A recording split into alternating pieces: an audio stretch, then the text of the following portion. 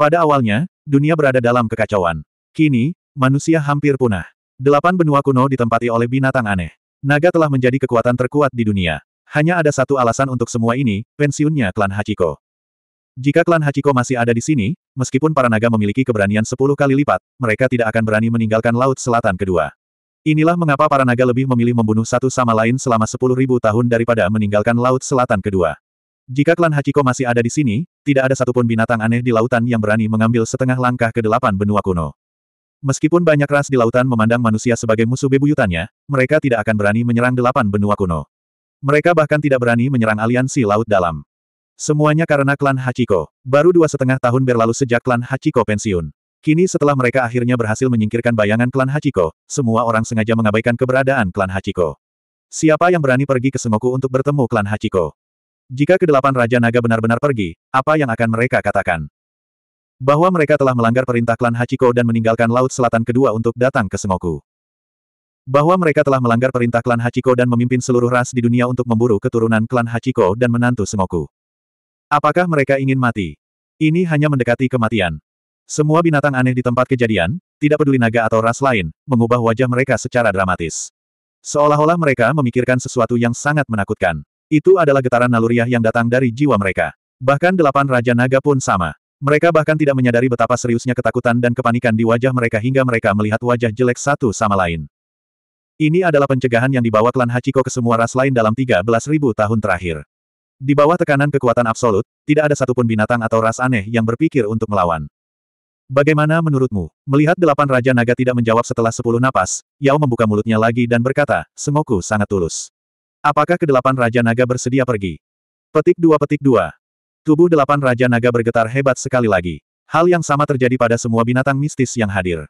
Mereka terbangun dari keterkejutan dan ketakutan mereka oleh kata-kata Yao, sehingga mereka melihat ke arah Yao lagi dengan panik. Kemudian, semua binatang eksotis lainnya melihat ke arah delapan Raja Naga, menunggu mereka mengungkapkan pendirian mereka. Semua binatang eksotis lainnya ingin tahu pilihan apa yang akan diambil oleh delapan Raja Naga.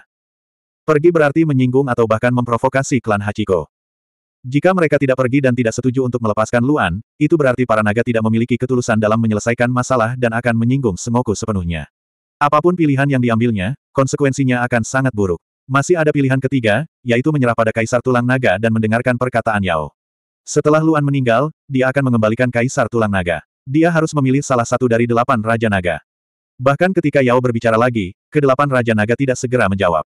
Mereka saling memandang dan menggunakan indera ilahi mereka untuk berkomunikasi secepat kilat. Kali ini, bahkan delapan Raja Naga pun tidak punya ide, itu sudah cukup untuk membuktikan betapa serius dan tak terbayangkan situasinya. Dunia masih sunyi senyap. Delapan Raja Naga tidak berbicara, dan ras lain juga tidak berhak berbicara. Bahkan jika mereka ingin berdiskusi, mereka hanya bisa menggunakan indera ilahi mereka untuk berkomunikasi dan diam-diam menunggu delapan Raja Naga mengambil keputusan. Namun, pada saat ini, suara yang sangat tiba-tiba terdengar. Itu datang dari depan Yao, yang berada tepat di belakang kelompok naga yang dipimpin oleh delapan Raja Naga, tanpa peringatan apa pun. Delapan Raja Naga, kenapa kamu ragu-ragu? Serahkan padaku. Sebuah suara yang dipenuhi dengan kekuatan kekerasan dan niat membunuh terdengar. Mendengar suara ini saja sudah membuat binatang eksotis di seluruh langit dan laut merasakan hawa dingin di hati mereka. Mereka bahkan gemetar ketakutan. Semua megalosaurus dan binatang eksotik segera menoleh dan melihat ke arah sumber suara. Dalam pandangan mereka, mereka melihat sosok terbang menuju ruang ini dengan kecepatan yang sangat cepat. Sosok manusia. Itu menjadi manusia lagi.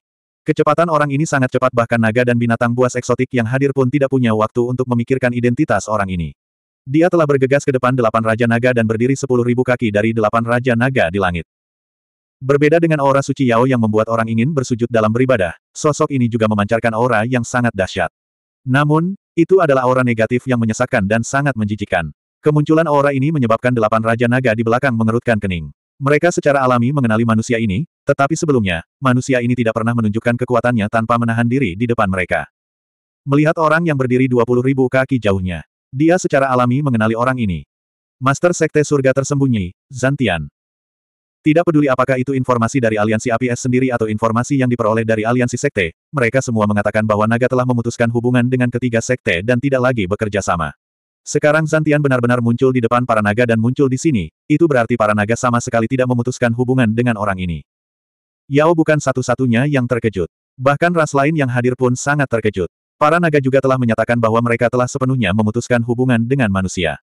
Sekarang kebenaran ada di depan mereka, itu tidak ada bedanya dengan pukulan kejam terhadap kepercayaan mereka pada naga. Para naga, yang selalu menepati janjinya, sebenarnya berbohong.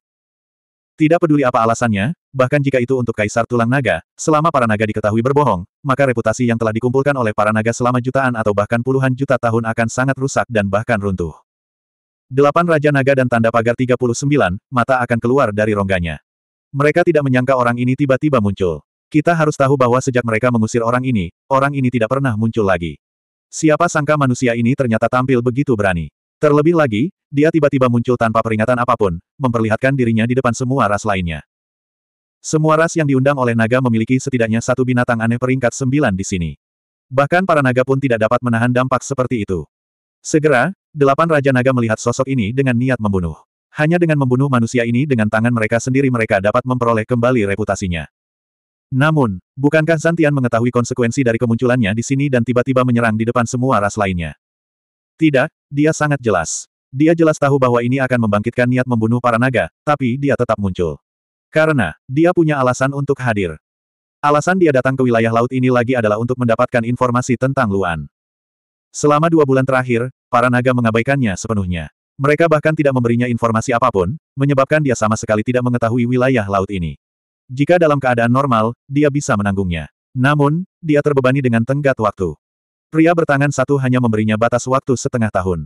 Hingga hari ini, tinggal satu bulan lagi. Zantian takut jika pria berlengan satu itu tidak muncul setelah tenggat waktu, atau jika dia tidak mendapatkan apa pun dan tidak memberinya pil apa pun, maka dia akan dimangsa sampai mati olehnya. Energi kematian di tubuhnya, dia pasti tidak bisa mengambil risiko sebesar itu. Oleh karena itu, untuk bertahan hidup, dia hanya bisa kembali ke sini lagi. Dia memasuki kelompok Megalosaurus melalui formasi teleportasi. Dia menemukan bahwa semua Megalosaurus berkumpul rapat, jadi dia bertanya pada salah satu dari mereka. Megalosaurus peringkat ke-9 tidak menyangka orang ini tiba-tiba muncul. Ia takut orang ini akan ditemukan oleh ras lain, tapi tidak peduli apa yang dikatakannya, ia tidak bisa mengusir orang ini. Ia hanya bisa menceritakan isi pembicaraan mereka. Oleh karena itu, Zantian muncul. Hanya ada satu alasan baginya untuk menyerang di depan semua balapan lainnya, demi Yao. Yao muncul sendirian adalah kesempatan terbaik baginya untuk menyelesaikan perintah pria bertangan satu itu. Kesempatan sekali seumur hidup. Dia jelas merasakan niat membunuh dari delapan Raja Naga di belakangnya. Namun, dia tidak peduli sama sekali. Saat delapan Raja Naga hendak menyerang, dia tiba-tiba membuka mulutnya dan berkata dengan keras kepada semua makhluk mistis yang hadir, orang ini membunuh temanku dan menindas rakyatku. Separuh rakyatku mati di tangan orang ini. Kami memiliki permusuhan yang tidak dapat didamaikan dengan orang ini. Perseteruan darah ini tidak bisa ditunda. Masalah hari ini hanya menyangkut kita berdua. Ini adalah masalah di antara kita manusia. Mohon tunggu sebentar. Setelah aku menyelesaikan ini dengannya, kita bisa bernegosiasi lagi. Suara Zantian sangat keras dan penuh dengan niat membunuh. Dia secara alami memfitnah orang lain. Yao belum pernah melakukan hal seperti itu. Dia bahkan tidak menyerang sekte surga tersembunyi. Namun, Zantian tidak peduli sama sekali. Karena dia tahu selama dia berkata begitu, para naga tidak akan peduli. Para naga hanya kekurangan alasan. Benar saja, delapan Raja Naga yang hendak menyerang segera gemetar. Mereka berhenti menyerang dan saling memandang. Jika manusia ini bisa membunuh Putri Sengoku, atau bahkan membawanya pergi dari sini. Tidak ada yang bisa menghentikan para naga untuk terus tinggal di sini. 2822. Benar sekali, itulah yang dipikirkan oleh delapan Raja Naga. Tidak peduli siapa orangnya, itu sudah cukup selama mereka bisa membawa pergi Putri Sengoku. Sejak Warski muncul, tidak ada yang bisa mereka lakukan untuk menebus reputasi mereka yang hilang. Mereka mungkin juga membiarkan manusia ini menyerang putri negara berperang. Setelah Warski membawa pergi Yao, klan lain mungkin tidak berani berselisih dengan naga. Bagaimanapun, Semoku telah bersembunyi selama bertahun-tahun dan pengaruhnya jauh lebih kecil dibandingkan naga. Paling-paling, delapan Raja Naga akan menggandakan hadiah yang mereka berikan kepada klan untuk meminimalkan kerugian mereka. Sekte Langit Tersembunyi telah melakukan segala jenis kejahatan. Mereka memupuk kekuatan jahat dan mengonsumsi darah manusia. Langit dan bumi akan menghukum mereka. Dia memandang Warski dari jauh dan berkata dengan suara yang sangat dingin, meskipun saya belum pernah menyerang Sekte Langit Tersembunyi, mereka pasti akan binasa. Mendengar kata-kata Putri Semoku, binatang buas eksotik lainnya pun ikut campur. Hati menjadi tegang. Tanpa ragu, mereka lebih percaya pada perkataan Putri Semoku bahwa dia tidak pernah menyerang apa yang disebut Sekte Langit Tersembunyi. Namun, apa gunanya berdebat tentang hal ini dalam keadaan seperti itu? Pada saat ini, delapan Raja Naga berbicara lagi. Karena ini adalah masalah antar manusia, tidak baik bagi kita sebagai orang luar untuk ikut campur. Suara berat dan bergema dari delapan Raja Naga menyebar jauh dan luas, memungkinkan semua makhluk ajaib mendengarnya dengan jelas. Sama seperti benar dan salahnya jenis naga kita, kita akan menyelesaikan semua masalah dalam jenis naga kita, dan tidak ada pihak luar yang boleh ikut campur. Karena musuh telah datang mengetuk pintu kita, kenapa kita tidak membiarkan mereka berdua menyelesaikannya sendiri? Kita bisa berdiskusi setelah itu. Petik 2 Petik 2 Mendengar delapan Raja Naga dan tanda pagar 39, dengan kata lain, semua binatang eksotik lainnya gemetar. Bukan hanya binatang eksotis lainnya, tapi bahkan naga pun sama. Semua orang yang hadir berada di level 9 dan siapa pun tahu bahwa Putri Sengoku baru saja menerobos belum lama ini. Di sisi lain, pemimpin Sekte Langit tersembunyi sudah terkenal sejak lama. Membiarkan mereka berdua menyelesaikannya sendiri jelas akan membuat Putri Sengoku mati. Tidak peduli apa pun, Sengoku dan para naga telah berteman selama bertahun-tahun. Tidaklah berlebihan untuk mengatakan bahwa mereka adalah sekutu. Bahkan jika para naga tidak mau mendengarkan Sengoku, mereka bisa saja mengusir Putri Sengoku. Mengapa mereka membiarkan manusia ini membunuh Putri Sengoku dan mengabaikan persahabatan mereka selama bertahun-tahun? Kapan naga jatuh begitu rendah? Ini karena perkataan dari delapan Raja Naga telah menyebabkan perubahan besar di hati semua binatang mistik pangkat sembilan dari ras lain. Untuk waktu yang lama, alasan mengapa berbagai ras bersedia mengabdi pada naga bukan hanya karena naga itu kuat, tapi juga karena naga menghargai persahabatan. Paling tidak, mereka masuk akal dan bukan ras yang menindas orang lain. Tapi kalau dilihat dari situasi saat ini, apa perbedaan antara mereka dan ras jahat itu? Di permukaan, dia tampak bermartabat, tetapi pada akhirnya, dia hanyalah seorang munafik. Faktanya, bukan hanya ras lain, bahkan para naga sendiri. Sebagian besar Megalosaurus level 9 menatap ke delapan Raja Naga dengan tidak percaya, atau lebih tepatnya, delapan Raja Naga. Perkataan delapan Raja Naga jauh melampaui ekspektasi mereka. Mereka sangat terkejut dan kedinginan. Naga tidak seharusnya seperti ini. Namun, pada saat ini, di hadapan orang luar, mereka tidak dapat mengucapkan sepatah kata pun. Bahkan jika dia ingin berbicara, dia hanya bisa menunggu sampai masalah ini selesai. Suara delapan Raja Naga terdengar berat dengan peringatan yang mengancam. Jelas sekali bahwa mereka tidak ingin ras lain ikut campur. Pada saat ini, jumlah Megalosaurus pangkat sembilan yang hadir bahkan lebih besar. Ras lain tidak berani bergerak sama sekali. Meskipun mereka sangat tidak senang, mereka hanya bisa menyaksikan semuanya terjadi. Warski memperlihatkan senyuman kejam. Sangat jelas bahwa perkataan delapan Raja Naga berarti dia diizinkan untuk bergerak. Dia memandang Yao Yao, yang berjarak 20 ribu kaki jauhnya. Dia tidak menyangka wanita ini akan berhasil menerobos. Wanita ini memancarkan aura suci yang kuat, jauh melampaui aura negatif yang ia pancarkan. Itu seperti perbedaan antara banjir dan sungai. Auranya hanya bisa mengalir melalui celah aura suci dan dengan cepat dihilangkan. Aura suci ini melekat pada tubuhnya, membuatnya merasa sangat tidak nyaman. Seolah-olah garis keturunan dan kekuatannya ditekan dan dihapus. Namun, ini hanya auranya. Dia bisa merasakan kekuatan pihak lain dan memiliki keyakinan mutlak pada kekuatannya sendiri. Dia tidak bisa kalah. Maukah kamu dengan patuh mengikutiku kembali ke Sekte Surga tersembunyi untuk meminta maaf kepada orang-orang yang meninggal, atau kamu ingin aku melukaimu dengan serius dan membawamu pergi? Suara Warski terdengar dingin saat dia berkata dengan berat. Yao Yao sedikit mengernyit, tapi tidak ada rasa takut di matanya. Sebaliknya, aura suci di sekelilingnya menjadi semakin kuat.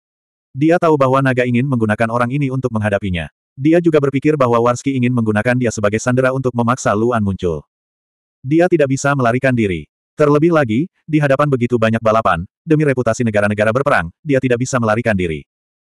Yao Yao bahkan tidak mau mengatakan sepatah kata pun kepada pihak lain. Seolah-olah mengucapkan sepatah kata pun akan menghina dirinya sendiri dan akan mengotori dirinya. Dia mengangkat tangan kirinya. Seketika, cahaya tujuh warna ilusi muncul. Kemudian, staf abadi muncul di tangannya. Saat staf abadi muncul, aura Yao Yao meroket. Rasanya staf sihir abadi telah sepenuhnya menyatu dengan tubuh Yao Yao. Staf sihir abadi telah menjadi eksistensi yang seperti anggota tubuh, atau bahkan lebih dari itu. Aura suci menjadi lebih kuat dan menyebar, sepenuhnya menekan aura negatif yang dipancarkan Warski. Hanya dua aura ini saja yang membuat semua binatang aneh di sekitarnya semakin mengagumi alam surgawi. Saat Warski melihat ini, senyuman dingin di wajahnya menjadi semakin terlihat. Secara alami, dia tahu bahwa wanita ini tidak akan patuh mengikutinya. Dia tiba-tiba meraung dan segera melepaskan seluruh energi kematian di tubuhnya. Gemuruh. Dengan kekuatan besar Warski, lampu merah yang dilepaskan segera menembus aura suci di sekitarnya. Ini bukan lagi sebuah konsep, tapi sebuah kekuatan nyata. Ketika kekuatan mengerikan ini melanda, bahkan delapan Raja Naga di belakangnya gemetar hebat. Tubuh besar mereka terpaksa mundur.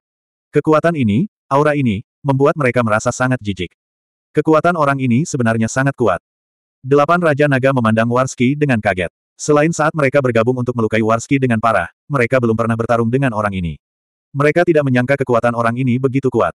Dengan kekuatan yang begitu besar, ditambah dengan kekuatan yang menakutkan ini, bahkan delapan Raja Naga pun mungkin tidak akan bisa menang melawan orang ini. Setelah energi kematian yang kuat meletus, situasinya segera berbalik. Energi kematian menyelimuti Yao Yao dan memaksa aura suci mundur. Mata Yao Yao sedikit menyipit. Segera, seluruh energi di tubuhnya meledak. Ledakan. Cahaya ilusi tujuh warna, yang merupakan energi suci yang dihasilkan setelah terobosan Yao Yao, memenuhi dunia. Itu sangat berbeda dari energi abadi tertinggi. Sekarang Yao Yao telah memasuki tahap surgawi abadi, dia benar-benar dapat menggunakan sebagian dari kekuatan staf abadi. Dengan gabungan dua kekuatan, dia benar-benar menolak penindasan energi kematian dan dengan kuat melawan, membentuk jalan buntu. Pertempuran hebat akan segera terjadi. Semua binatang mistik tanpa sadar mundur, menyisakan cukup ruang bagi mereka berdua untuk bertarung. Pada akhirnya, terbentuklah ruang dengan diameter seratus ribu kaki. Semua makhluk mistik menatap mereka berdua. Selain delapan Raja Naga, sebagian besar makhluk mistis berharap, Putri Semoku akan menang. Termasuk para naga itu sendiri, itu sama saja. Keduanya saling berhadapan. Untuk sesaat, tak satu pun dari mereka yang mengambil inisiatif menyerang. Sebaliknya, mereka melepaskan kekuatan mereka dan terlibat dalam konfrontasi kekuatan murni di langit, seolah-olah mereka ingin menggunakan metode ini untuk menentukan pemenang. Yao Yao, yang memiliki staf abadi, berusaha sekuat tenaga. Seluruh tubuhnya tegang. Dibandingkan Yao Yao, Warski jelas jauh lebih santai, karena dia tidak menggunakan seluruh kekuatannya sama sekali. Dia harus mengakui bahwa putri negara berperang telah menunjukkan kekuatan luar biasa dalam kondisi barunya. Namun, kesenjangan antara guru surgawi tingkat sembilan sangat besar. Dibandingkan dia, dia masih terlalu muda. Mata Warski menjadi dingin. Dia segera mengepalkan tangannya dan meraung ke depan. Mengaum. Gemuruh. Segera, energi kematian yang lebih mengerikan meletus, langsung mengubah kebuntuan. Itu menghancurkan energi suci semudah menghancurkan rumput kering dan menghancurkan kayu busuk. Energi kematian murni dengan keras menelan Yao Yao, yang berjarak 20 ribu kaki jauhnya, seperti binatang buas. Tubuh Yao Yao bergetar. Mengetahui bahwa dia tidak dapat bertahan, dia segera menyerah pada konfrontasi kekuatan murni. Dia segera mengangkat tangan kirinya dan mengarahkan staf abadi ke energi kematian yang luar biasa. Gerbang abadi langit dan bumi. Segera, energi abadi tertinggi di kehampaan berkumpul dengan cepat di langit, membentuk pintu tujuh warna besar yang panjang dan lebarnya lebih dari tujuh puluh ribu kaki. Teknik abadi nasib abadi tipe pertahanan. Ledakan. Energi kematian dan energi abadi tertinggi bertabrakan, menyebabkan langit dan laut berubah secara dramatis. 2823. Ini adalah bentrokan antara dua kekuatan yang sangat kuat. Kekuatan kematian dan energi abadi tertinggi bertabrakan, menghancurkan ruang dalam radius 300 ribu kaki. Ruang lebih dari 600 ribu kaki dihancurkan, dan kekuatan kekerasan terus menyapu lebih jauh. Binatang mistik ada di mana-mana. Melihat cahaya merah yang gila dan cahaya pelangi yang kabur, hati mereka menegang. Naluri mereka yang kuat dan rasa bahaya menyuruh mereka mundur. Mereka melakukannya, tanpa sadar mundur setengah panjang tubuhnya, tapi itu saja. Lagi pula, jarak mereka cukup jauh.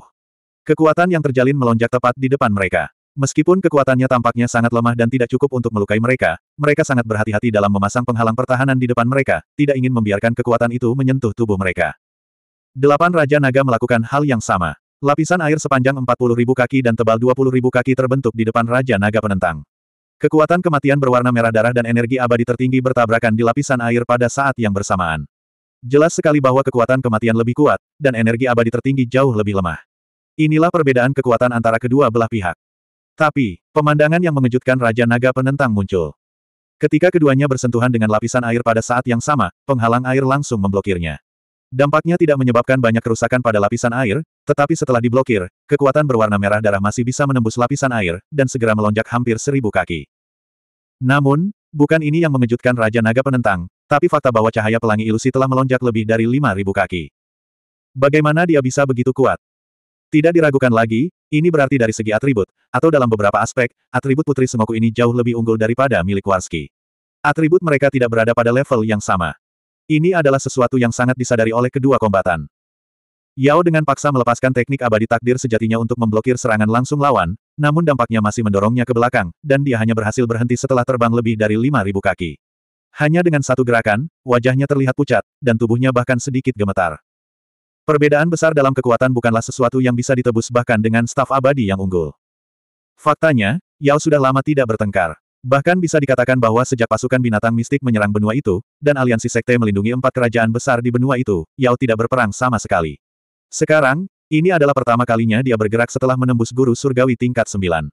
Adaptasinya terhadap dunia baru dan kendali atas kekuatan baru masih jauh dari kondisi terbaiknya. Di sisi lain, Warski juga terpaksa mundur akibat dampak ledakan tersebut. Karena ledakan terjadi di antara mereka berdua, dia tidak bisa mengejar ledakan tersebut. Alisnya berkerut rapat, dan ekspresinya sangat serius. Dia tidak cedera, dan dia yakin dia pasti akan menang. Tapi masalahnya adalah, dia bisa dengan jelas merasakan bahwa atribut kekuatan Putri Semoku lebih tinggi dari miliknya. Dalam hal kekuatan murni, kedua belah pihak berimbang, dan tidak ada banyak perbedaan di antara keduanya. Namun ketika menyangkut kekuatan rasa spiritual, kelemahannya menjadi sangat jelas. Bahkan ketika keduanya bertabrakan, dia masih merasakan hawa dingin di punggungnya. Rasa takut muncul dari lubuk hatinya. Dalam proses bertarung melawan Putri Semoku, dia percaya bahwa energi kematiannya tidak lebih lemah dari energi abadi. Ini membuktikan bahwa dia selalu menganggap itu adalah atribut tertinggi. Tapi mungkinkah ki abadi juga bisa ditambah dengan rasa ilahi yang begitu kuat? Melihat Putri Semoku di kejauhan, Warski menarik napas dalam-dalam dan mengepalkan tinjunya lagi. Ada begitu banyak binatang mistis tingkat sembilan di sekitar, dan semuanya berada di pihak Semoku. Dia tidak mampu untuk melakukan ini. Kalau tidak, ketika binatang mistis ini sadar, kemungkinan besar mereka akan tidak mematuhi perintah para naga. Perintah untuk melindungi Putri Semoku. Saat itu, akan sangat merepotkan baginya untuk membawa pergi Yao. Adapun kekuatan Divine Sense dalam energi abadi, dia bisa menangkap Yao dan menginterogasinya perlahan. Ha! Warski segera meraung dan mengerahkan seluruh kekuatannya. Cahaya merah darah menyebar dengan liar dari tubuhnya. Untuk mendapatkan energi kematian secara permanen, dia tidak akan ceroboh, dan dia tidak akan menunjukkan belas kasihan. Ledakan. Warski segera bergegas menuju Yao, yang jaraknya hampir 300 ribu kaki. Dengan momentum yang kuat, dia berubah menjadi cahaya merah darah dengan aura kehancuran dan kekuatan yang tak terhentikan. Perbedaan kekuatan antara kedua pihak sangat besar. Dengan kekuatan Yao, dia bahkan tidak bisa melihat sosok pihak lain dengan jelas. Namun, Ki Abadi dari ketiadaan menyelamatkannya. Ki Abadi tertinggi yang memenuhi area luas segera memberikan umpan balik kepada Yao ketika bersentuhan dengan momentum. Namun, kecepatan pihak lain terlalu cepat. Yao tidak bisa melihat dengan jelas sosok pihak lain dalam jarak sedekat itu. Oleh karena itu, dia memutuskan untuk tidak mencoba menangkap pihak lain, dan langsung terbang lebih tinggi ke langit. Ini adalah prinsip yang pernah diajarkan Luan padanya. Dalam pertempuran, yang terbaik adalah membiarkan pihak lain bertarung sesuai rencana Anda sendiri, dan tidak jatuh ke dalam perangkap pihak lain. Ini bahkan lebih penting lagi ketika bertarung melawan lawan yang lebih kuat. Jika pihak lain ingin menyerang dari suatu garis, tinggalkan garis itu. Dengan cara ini, Anda bisa membuat pihak lain menjauh. Jika Anda tidak dapat mengetahui lokasi pihak lain, maka Anda dapat memastikan lokasi pihak lain secara paksa, karena pihak lain pasti sedang dalam perjalanan untuk mengejar Anda. Luan telah bertarung terlalu banyak di atas levelnya. Meskipun pengalaman bertempurnya secara keseluruhan tidak dapat dibandingkan dengan guru surgawi tingkat sembilan yang telah hidup begitu lama di sekte tersebut, mungkin tidak banyak orang yang dapat menandinginya dalam hal pengalaman bertempur. Seperti yang diharapkan, setelah Yao terbang ke langit, Warski segera mengubah arahnya dan mengejarnya. Setelah itu, Yao menggunakan prinsip lain yang telah diajarkan Luan padanya untuk bertarung di atas levelnya. Temukan perbedaannya. Pikirkan tentang apa yang Anda miliki lebih dari pihak lain, dan kemudian coba gunakan aspek ini untuk bertarung. Seni abadi. Bahkan suaminya hanya mengetahui sedikit seni kematian, dan semuanya diperoleh dari istana yang sangat kuat. Dia tidak percaya Warski juga mengenal mereka. Warski ini kemungkinan besar hanya mampu menggunakan kekuatan kematian, atau menggunakan seni surgawi untuk mengerahkan kekuatan kematian. Dengan cara ini, mustahil untuk melepaskan kekuatan sebenarnya dari kekuatan kematian, dan dia sendiri memiliki banyak seni abadi yang kuat. Pertama, yang harus dia lakukan adalah mengaburkan semua indera pihak lain, termasuk pandangan mereka. Meskipun dia tidak bisa menangkap sosok pihak lain, dia juga bisa membuat pihak lain tidak bisa menangkap sosoknya sendiri. Saat dia terbang lebih tinggi ke langit, staf abadi di tangan Yao segera bersinar terang. Yao hanya bisa melihat bahwa seluruh kekuatannya beresonansi dengannya, mengerahkan lebih banyak kekuatan dalam staf abadi. Teknik penerangan matahari Weng. Segera, cahaya berwarna pelangi yang sangat mempesona jatuh dari langit, menembus mata semua binatang mistis. Cahaya yang begitu menyilaukan, bahkan kedelapan Raja Naga pun langsung memalingkan muka, tidak mampu melihatnya secara langsung, apalagi Warski yang sudah menutup jarak hingga seratus ribu kaki. Cahaya yang menyilaukan ini menutupi seluruh cahaya matahari siang. Warski, yang awalnya melihat ke langit, segera mengerutkan kening dan segera memalingkan muka. Cahaya berwarna pelangi ini menutupi area yang sangat luas, langsung menutupi area dengan diameter lebih dari 20 ribu kaki. Energi abadi tertinggi dalam cahaya ini tidak kuat, tetapi karena garis pandangnya terhalang, perasaan kematian Warski tidak dapat bersaing dengan cahaya ini, menyebabkan dia benar-benar kehilangan pandangan terhadap Yao. Tapi, lalu kenapa? Kekuatan kematian di tubuhnya meledak, dan cahaya berwarna pelangi yang menyilaukan ini tidak memiliki banyak kekuatan, apalagi menyakitinya. Karena itu masalahnya, dia akan dengan paksa menerobos semua cahaya ini.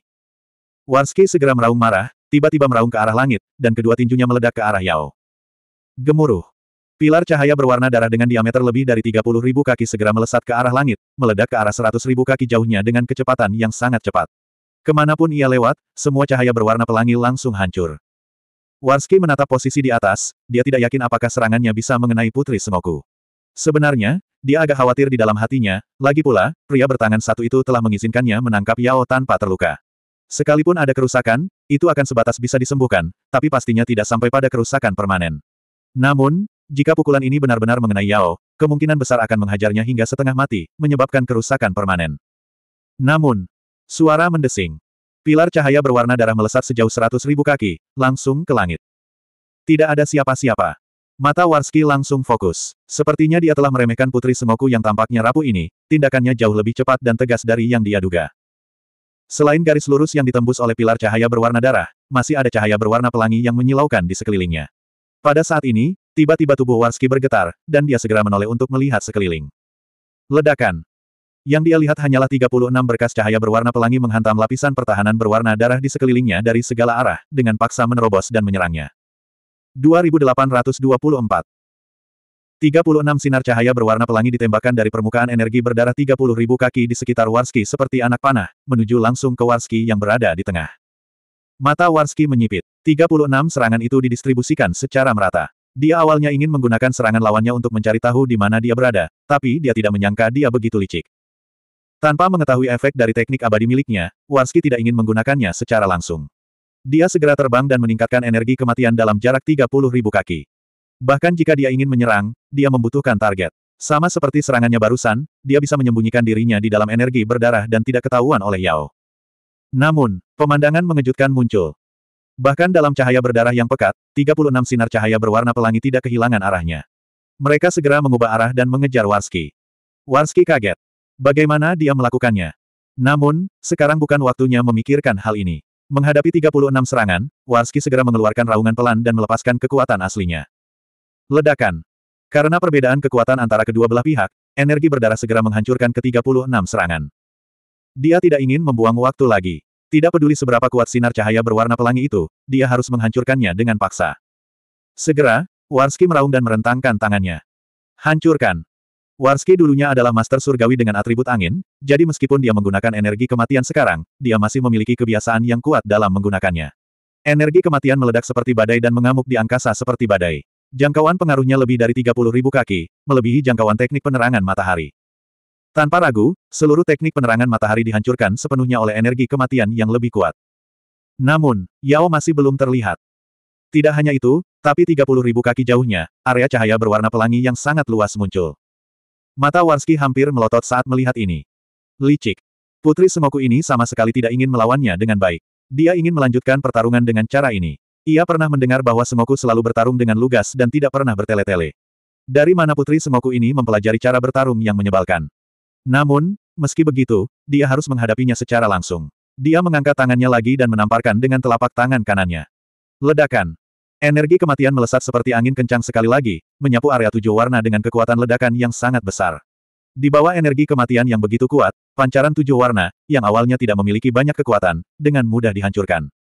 Yao terletak di sisi lain dari cahaya tujuh warna, tempat terjauh dari Warski. Setelah teknik refleksi yang dilepaskan, dia dapat mempertahankannya untuk jangka waktu tertentu tanpa perlu mengendalikannya, jadi dia sudah bersiap untuk melepaskannya lagi. Dengan staf abadi sihir tinggi, konsumsi energi yang dibutuhkan untuk mengeluarkan mantra abadi sangat berkurang. Ini mungkin satu-satunya keuntungan yang dimilikinya. Dia tidak tahu kenapa, tapi dia merasa energi kematian lawannya mengambang dan tidak stabil, seolah-olah tidak terlalu cocok dengan tubuhnya. Meski kuat, staminanya kurang. Jika dia bisa melanjutkan pertarungan, dia mungkin bisa mendapatkan keuntungan. Yao benar, bagi Warski saat ini, masalah terbesarnya adalah kemampuannya untuk terus bertarung. Ini karena kecepatan dia menyerap energi kematian dari lingkungan sangat lambat. Jika kekuatan tempurnya habis, dia membutuhkan setidaknya lima hari untuk mengisi kembali energinya, belum lagi menyerap energi kematian dari lingkungan selama pertempuran. Namun karena itu, Warski mengetahui kelemahannya lebih baik dari siapa pun, jadi dia tidak bisa membiarkan Yao berlarut-larut. Saat Yao melepaskan teknik refleksi yang untuk menyembunyikan dirinya, Warski telah menyerang ujung teknik refleksi yang. Kali ini, Warski melepaskan semua energi kematian di tubuhnya tanpa menahannya, memperluas energi kematian hingga radius lebih dari 10.000 kaki. Kita harus tahu bahwa dia tidak mengendalikan teknik kematian. Area yang begitu luas berarti itu adalah energi kematian murni, yang akan menghabiskan banyak energinya. Ketika binatang mistis yang menyaksikan pertempuran dari segala arah melihat ini, mereka tahu bahwa guru sekte surga tersembunyi tidak dapat lagi menanggungnya. Hanya terjadi beberapa gerakan sejak awal pertempuran. Jarang sekali dia bisa bereaksi secepat itu. Tampaknya orang ini telah mengalami ratusan pertempuran. Energi kematian sebesar itu dihancurkan secara paksa oleh teknik refleksi yang. Selain itu, Warski lebih kuat dan lebih cepat dari Yao. Setelah dia dengan cepat menghancurkan seluruh area teknik refleksi yang, Yao tidak dapat sepenuhnya melepaskan teknik refleksi yang berikutnya tepat pada waktunya. Benar, Yao telah ditemukan, dan jarak antara mereka kurang dari 10.000 kaki. Bagi guru surgawi tingkat 9, 10.000 kaki adalah jarak yang sangat efektif untuk serangan langsung. Saat dia melihat Yao, Warski mengerutkan kening. Dia segera meraung marah dan melayangkan pukulan ke udara. Ledakan. Sinar cahaya berwarna merah darah yang berdiameter 3.000 kaki itu sangat cepat. Dalam sekejap, ia melintasi 80 ribu kaki dan langsung menuju Yao. Itu sangat cepat sehingga Yao bahkan tidak punya waktu untuk bereaksi. Setelah dia menemukannya, dia hanya bisa memotong teknik refleksi yang. Dia bahkan tidak bisa mengaktifkan teknik abadi berikutnya. Dia akan dipukul. Segera, semua binatang mistis tingkat 9, mata terfokus. Jelas sekali Putri Sengoku ini tidak punya kesempatan untuk mengelak atau membela diri. Sudah berakhir. Ledakan. Sebuah ledakan dahsyat muncul di langit. Pada saat yang sama, semua binatang mistis dan tanda pagar 39 tubuh bergetar hebat. Mereka membelalak tak percaya melihat pemandangan di kejauhan. Tubuh Yao terbang mundur dan dia bahkan mengeluarkan seteguk darah. Namun, dia tidak menerima serangan langsung dari energi berwarna merah darah. Dia hanya menerima serangan langsung dari energi murni. Tepat pada waktunya, sebuah pertahanan muncul di depannya dan memblokir serangan itu untuknya. Orang yang melepaskan pertahanan ini bukanlah siapa pun, tapi senjata di tangannya. Itu benar, itu adalah staf abadi. Dalam sekejap, staf abadi menghasilkan pertahanan ilusi. Kelihatannya ilusi, tapi penuh dengan kekuatan. Ia dengan paksa memblokir serangan Warski, namun ledakannya masih mengenai tubuh Yao. Yao terluka, dan itu adalah cedera dalam yang serius. Di bawah serangan hebat itu, kekuatan di tubuh Yao segera menghilang. Hal ini menyebabkan tangan kirinya terpaksa mengendur, dan staf abadi terlempar ke kejauhan. Karena sudutnya, staf abadi dikirim terbang secara diagonal menuju laut. Mata Warski menjadi dingin. Secara alami, dia tahu bahwa senjata inilah yang membentuk penghalang pertahanan. Dia terbang kembali ke arah binatang mistik, yang semuanya menatap Warski dengan marah. Seolah-olah mereka akan menyerang jika Warski mengejar mereka. Ini bukan sebuah lelucon. Itu melepaskan niat membunuh yang sangat besar, ancaman nyata. Warski langsung berhenti dan tidak berani mengejar serangan. Dia langsung menatap senjata yang dikirim terbang. Dia mengangkat tangannya, dan seketika, energi merah darah mengejar staf abadi. Ia menangkap staf abadi saat ia menghantam laut. Kemudian, Warski segera menarik energinya kembali, dan staf abadi bergegas ke arahnya. Melihat ini, binatang mistis di sekitar menjadi semakin marah. Namun, mereka tidak bisa terburu-buru ke medan perang dan melakukan apa pun. Demi kepentingan dan keselamatan ras mereka, tak seorang pun ingin menjadi yang pertama melawan naga. Oleh karena itu, mereka hanya bisa menyaksikan senjata tersebut terbang menuju Warski dan akhirnya sampai di hadapannya. Suara mendesing. Staf abadi melayang setengah zang di depan Warski. Warski mengerutkan kening. Ia bahkan tidak berani meraih senjata tersebut dengan tangannya, karena ia menyadari bahwa kekuatan yang dikeluarkan dari senjata tersebut sangat menakutkan. Namun, selama dia bisa mengendalikan senjatanya, lawannya tidak akan memiliki kesempatan untuk melawannya setelah kehilangan senjatanya. Serangan selanjutnya harus mengakhiri pertempuran dan membawa Putri Sengoku ini pergi dari sini. Namun, pada saat ini, sesuatu yang aneh terjadi. Yao, yang berada di depan tubuh besar binatang mistik tingkat sembilan, dengan kuat menahan rasa sakit dari luka internalnya dan menggunakan teknik kembali ke surga untuk menyembuhkannya. Ketika dia mendongak dan melihat staf abadi berada setengah zang di depan Warski, tubuh halusnya bergetar. Dia segera mengangkat tangannya, mencoba menarik staf abadi kembali. Ini adalah sesuatu yang bisa dia lakukan. Sejak dia mendapatkan staf abadi dan menjalin hubungan dengannya, dia selalu memiliki hubungan khusus dengannya. Namun, saat dia menjalin hubungan dengan staf abadi, tubuh halusnya tiba-tiba bergetar lagi. Perasaan, yang aneh. Lalu, mata indah Yao berubah menjadi dingin. Telapak tangannya yang terbuka, yang telah meraih staf abadi, tiba-tiba mengepal. Seni abadi. Sebelum dia selesai berbicara, staf abadi, yang berjarak 30 ribu zang, tiba-tiba bersinar terang. Itu menerobos kendali energi kematian Warski dan meledak menjadi cahaya tujuh warna yang menyilaukan. Cahaya itu menyinari wajah Warski yang sangat terkejut dan ketakutan. Kemudian, ledakan. 2825. Gemuruh. Sebuah ledakan besar terjadi di langit, dan langit serta laut berubah warna. Ledakan tersebut ditemukan di ketinggian 13.000 meter, namun ledakan tersebut telah meledakkan laut di bawahnya hingga kedalaman lebih dari 70.000 meter. Kita harus tahu bahwa ini adalah wilayah laut di mana dataran api suci berada. Jika itu wilayah laut lainnya, kedalamannya akan mencapai 10.000 meter. Ledakan mengerikan seperti itu muncul setengah meter di depan Warski, memberikan Warski terlalu sedikit waktu untuk bereaksi dan jarak untuk mengatur pertahanannya. Lebih penting lagi, kecepatan staf melepaskan seni abadi terlalu cepat, begitu cepat bahkan Yao sendiri tidak dapat melakukannya. Meski kecepatan reaksi Warski sudah cukup cepat, pertahanan yang dia bentuk masih terlalu sederhana. Di antara semua seni abadi yang Yao kuasai, seni abadi dengan daya ledak jarak dekat terkuat tidak ada duanya. Ledakan tersebut menyapu semua embrio bentuk pertahanan, dan menelannya semudah menghancurkan rumput kering, langsung menelan seluruh tubuh Warski. Ledakan. Cahaya tujuh warna meledak di langit, dan sosok Warski langsung terbang keluar. Semua binatang mistik terstimulasi oleh cahaya ini, dan memalingkan muka serta menutup mata. Namun, mereka melihat ledakan itu dengan jelas, dan segera membuka mata mereka, mencoba yang terbaik untuk menyipitkan mata untuk melihat. Semua orang tidak melihat ke arah Yao atau Warski, tapi inti ledakannya. Senjata ini, kenapa masih ada di sini? Segera, semua binatang mistis gemetar. Tidak ada satupun dari mereka yang tidak ahli. Mengenai serangan mengejutkan tadi, yang paling mereka pedulikan adalah apakah senjata ini masih ada atau tidak. Jika senjata ini meledak sendiri, melepaskan serangan sekuat itu bukanlah masalah besar. Namun, pada saat ini, senjata ini sebenarnya melayang di langit, utuh sempurna, tanpa retakan, dan bahkan memancarkan cahaya tujuh warna yang kuat dan mempesona. Ini cukup untuk mengejutkan semua binatang mistis. Senjata ini benar-benar bisa menyerang dirinya sendiri. Segera, semua binatang mistis melihat ke arah Yao, hanya untuk menyadari bahwa ekspresinya jelas sedikit terkejut. Benar sekali, Yao sangat terkejut, karena dia tidak menyangka para staf benar-benar bisa melakukan hal tersebut. Sebelumnya, staf pasti tidak memiliki kemampuan ini. Mungkinkah ini ada hubungannya dengan terobosannya? Ketika dia hendak mengingat staf sihir tinggi abadi, dia menemukan bahwa hubungan antara dia dan staf sihir tinggi abadi berkali-kali lebih kuat dari sebelumnya. Seolah-olah staf sihir tinggi abadi adalah bagian dari tubuhnya. Dia bisa dengan jelas merasakan setiap kekuatan di staf sihir tinggi abadi dari jarak 30 ribu kaki. Oleh karena itu, dia melakukannya. Namun, dia benar-benar tidak mengira itu akan sekuat itu. Kejutan yang menyenangkan. Dia mengangkat lengan kirinya dan membuka telapak tangannya. Segera, Staf abadi hukum tinggi yang berjarak 30 ribu zang di langit bergerak, terbang ke arahnya dengan kecepatan yang sangat cepat, memasuki tangannya. Adegan ini menyebabkan semua binatang mistis di sekitarnya terkejut sekali lagi. Senjata yang bagus. Mata semua binatang mistis sudah lama bersinar, memancarkan cahaya iri. Namun, tidak ada satupun makhluk mistis yang serakah karena mereka tahu betul bahwa ini adalah milik Sengoku, yang artinya ada hubungannya dengan garis keturunan mereka. Sekalipun diberikan kepada mereka, mereka tidak akan bisa menggunakannya. Setelah mengaguminya, semua binatang mistik menoleh untuk melihat ke arah lain, yaitu Warski. Warski, terlempar sejauh 50 ribu meter sebelum akhirnya berhenti. Semua binatang menakjubkan sedang melihat ke arah Warski. Dia sekarang lebih dekat dengan Dragon Fog, dan seluruh tubuhnya berlumuran darah. Darah segar bahkan potongan daging cincang terus berjatuhan dari tubuhnya. Ledakan tadi terlalu mendadak. Itu setara dengan menyerangnya saat dia tidak siap. Fakta bahwa dia tidak mati sudah menunjukkan bahwa reaksinya cukup cepat, dan tubuhnya cukup kuat. Terlebih lagi, Melihat penampilan Warski yang tidak dapat dikenali, seluruh tubuhnya berlumuran darah, semua binatang ajaib mengerutkan kening. Sungguh ajaib bahwa dia tidak mati pada tingkat seperti itu. Memang menurut tingkat cedera orang normal, Warski sudah mati. Cederanya yang sebenarnya bahkan lebih serius daripada binatang ajaib. Banyak tulangnya patah, dan organ dalamnya hancur. Namun, dia masih hidup, dan bahkan, dia tidak merasakan datangnya kematian. Ini, terkait dengan energi kematian di tubuhnya. Dia bahkan mengangkat tangannya yang kurus dan kurus, dan berinisiatif mengeluarkan daging cincang dari tubuhnya, dan membuangnya.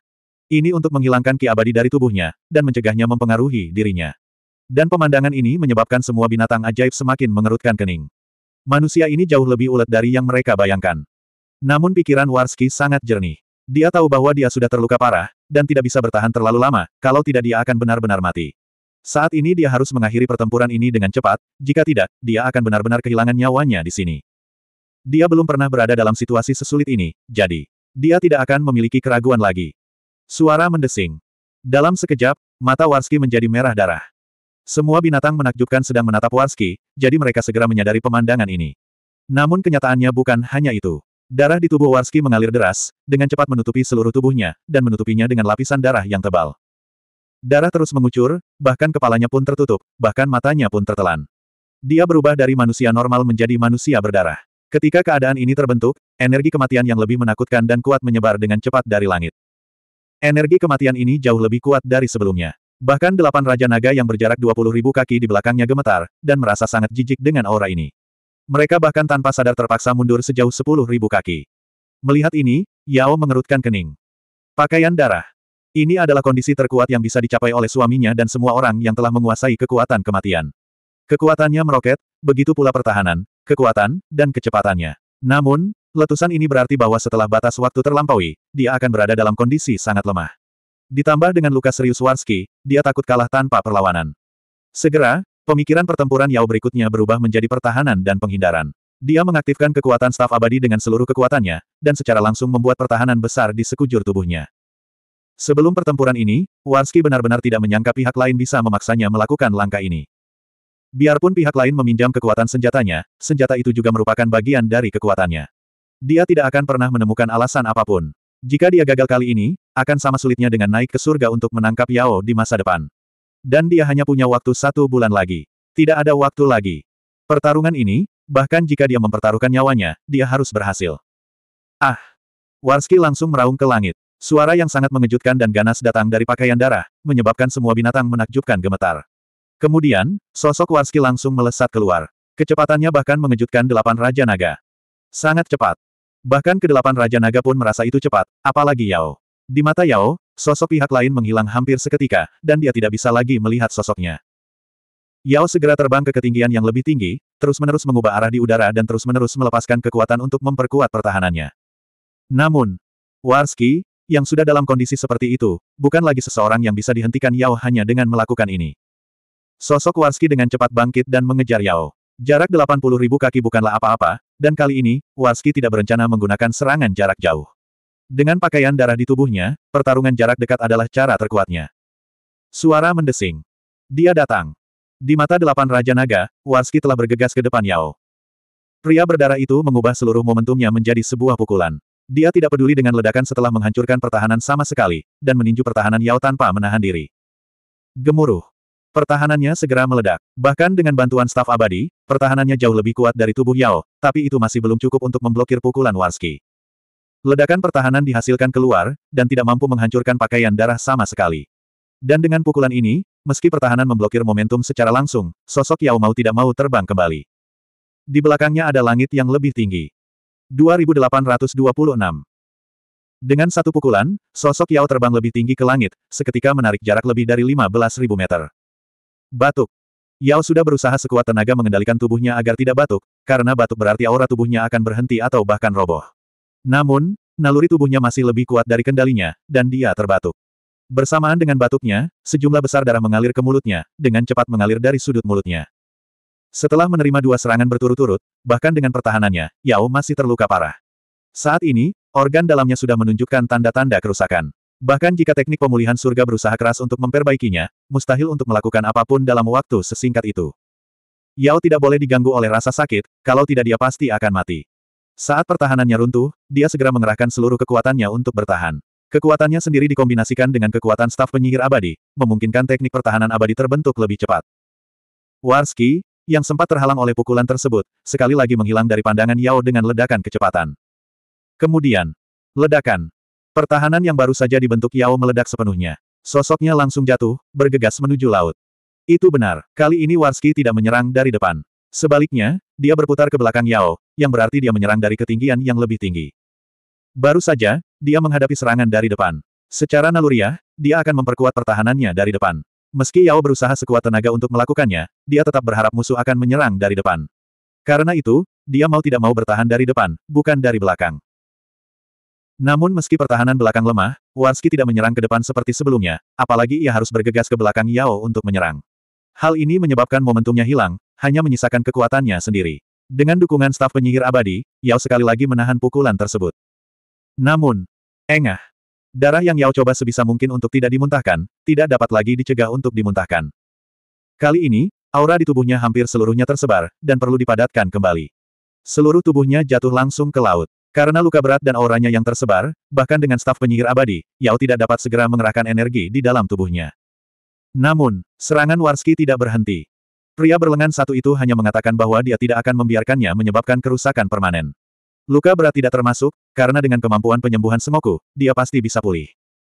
Yang perlu dia lakukan sekarang adalah membuat Yao pingsan dan membawanya pergi. Bahkan jika terjadi kerusakan permanen, dia tidak peduli. Suara mendesing.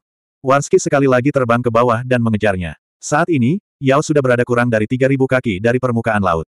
Warski, sebaliknya, berada 16.000 kaki di udara. Namun, pada ketinggian 13.000 kaki, Warski dapat dengan mudah mengejarnya. Yao mengumpulkan auranya sekuat tenaga, ingin menggunakan staf sihir abadi untuk membentuk pertahanan sekali lagi. Namun, baik dia maupun banyak binatang aneh yang menyaksikan pertempuran itu dengan jelas mengetahui bahwa dia tidak lagi memiliki kesempatan untuk melakukannya. Putri Semoku pasti tidak akan mampu menahan serangan berikutnya. Kalau ringan akan mengakibatkan koma. Jika serius, bahkan bisa mengakibatkan kematian. Suara mendesing. Jarak antara mereka dengan cepat berkurang menjadi kurang dari 30 ribu zang, namun Yao belum memasuki permukaan laut. Ini cukup untuk menunjukkan betapa besar perbedaan kecepatannya. Yao, yang auranya menyebar, bahkan tidak memiliki kecepatan tinggi untuk melarikan diri. Ia memenangkan. Di balik pakaiannya yang berlumuran darah, mata Warski dipenuhi rasa percaya diri, dan dia akhirnya siap untuk bernapas lega. Namun, pada saat ini, perubahan mendadak terjadi. Ledakan. Sinar cahaya keluar, dan arah munculnya mereka bukanlah langit, juga bukan laut, melainkan binatang buas eksotik di seberang sana. Itu benar, Wonder Beast tingkat 9 akhirnya tidak bisa menahan diri dan menyerang. Wonder Beast tingkat 9 ini sangat kuat. Ia menyerang dari samping, langsung menuju satu-satunya jalan Warski. Jika Warski ingin mengejarnya, dia pasti akan menghadapi serangan ini secara langsung. Jika dia tidak ingin menghadapi serangan ini secara langsung, dia harus menghentikan momentum ke depan dan menghindar. Serangan ini begitu kuat sehingga jika Warski menghadapinya secara langsung dengan kondisinya yang terluka parah, nyawanya akan dalam bahaya. Suara mendesing. Dipaksa menghentikan momentum ke depan, Warski dengan panik mencoba berhenti dan bahkan mundur.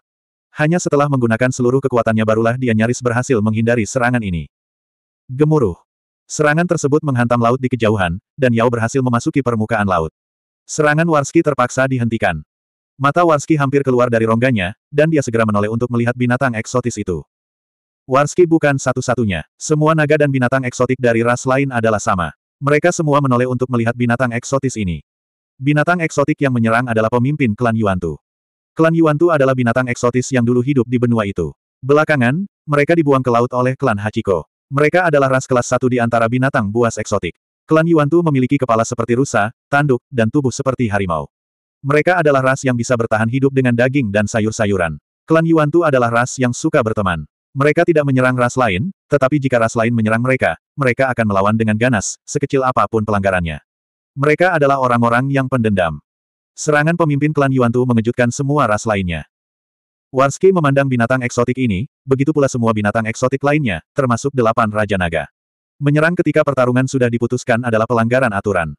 Namun, pemimpin klan raksasa Yuantu tidak peduli sama sekali. Dia langsung berteriak, Sengoku telah baik pada kita. Mereka sangat membantu kami ketika kami pertama kali memasuki laut, dan mereka telah membantu kami selama puluhan ribu tahun. Itu sebabnya kita bisa tinggal di sudut laut. Klan Yuantu tahu cara membalas kebaikan. Tidak peduli siapa kamu, jika kamu ingin menyentuh Putri Sengoku, kamu harus membunuhku terlebih dahulu. Saat pemimpin klan Yuantu berbicara, Yuantu level 9 di belakangnya meraung. Raungan mengerikan bergema di seluruh lautan, mengejutkan semua binatang eksotis. Delapan Raja Naga mengerutkan kening saat mereka melihat Yuantu level 9. Ada lebih banyak naga, dan mereka secara individu lebih kuat. Tentu saja mereka tidak takut. Namun, ini bukan soal apakah mereka takut atau tidak. Itu adalah masalah situasinya. Situasi tidak memungkinkan mereka menyerang dengan mudah. Kamu juga mendapat bantuan dari Sengoku. Pemimpin klan Yuantu segera menoleh untuk melihat ras lain dan berteriak, tanyakan pada dirimu sendiri, apakah kamu akan selamat tanpa Sengoku?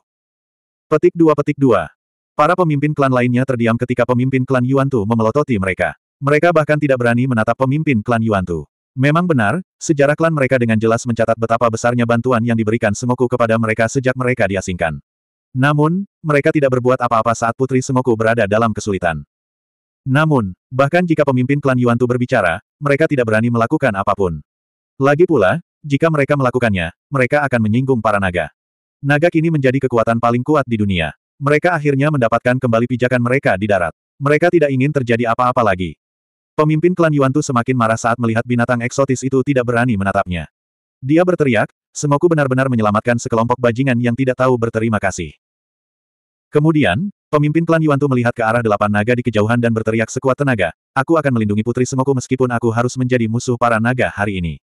Suara pemimpin klan Yuantu meledak di langit dan laut. Suaranya menyebar jauh ke telinga semua binatang eksotis yang hadir, termasuk para naga. Kata-kata pemimpin klan Yuantu penuh semangat dan kemarahan. Namun, itu bukanlah ancaman bagi para naga. Lagi pula, mereka jauh lebih lemah dari para naga. Namun, para naga tidak berani melakukan apa pun terhadap pemimpin klan Yuantu. Mereka bisa melakukan apa saja secara pribadi, bahkan jika mereka ingin menghancurkan seluruh klan Yuantu. Namun, mereka tidak bisa melakukan apa pun di siang hari bolong di depan banyak balapan lainnya. Mereka pasti punya alasan untuk melakukannya. Pemimpin klan Yuantu berada di pihak yang beralasan. Para naga tidak berpihak pada akal sehat, jadi mereka tidak bisa berbuat apa-apa. Jika mereka melakukannya, para naga akan melakukan hal yang sama. Reputasi di antara binatang eksotik akan anjlok. Namun, kedelapan Raja Naga tidak ingin pemimpin klan Yuantu melindungi Putri Sengoku. Tulang naga kekaisaran sangat penting bagi mereka. Mereka tidak bisa berkompromi hanya karena adanya pihak luar. Karena itu Pulau Warski yang berada di langit tidak berani bertindak gegabah ketika delapan Raja Naga tidak membuka mulutnya. Di saat yang sama, sesosok tubuh tiba-tiba keluar dari laut. Bang! Sosok yang begitu cantik, tepatnya adalah Yao. 2827 Delapan benua kuno, di suatu tempat di bawah tanah, Persatuan Api Es. Sudah lama sekali sejak Yao pergi. Keenam wanita dan Yuerong semuanya duduk di kantor, merasa sangat tidak nyaman. Namun meski begitu, mereka hanya bisa duduk di sini dan menunggu kabar. Selain Yuerong, situasi di dataran api suci bukan lagi sesuatu yang bisa mereka campuri. Tanpa kekuatan yang cukup, mereka bahkan tidak mempunyai hak untuk berbicara. Sejak Yao pergi hingga sekarang, alis Liu Yi berkerut erat. Yang paling dia khawatirkan adalah Yao tidak hanya tidak mencapai kesepakatan dengan para naga, tapi juga ditangkap oleh para naga untuk mengancam Luan.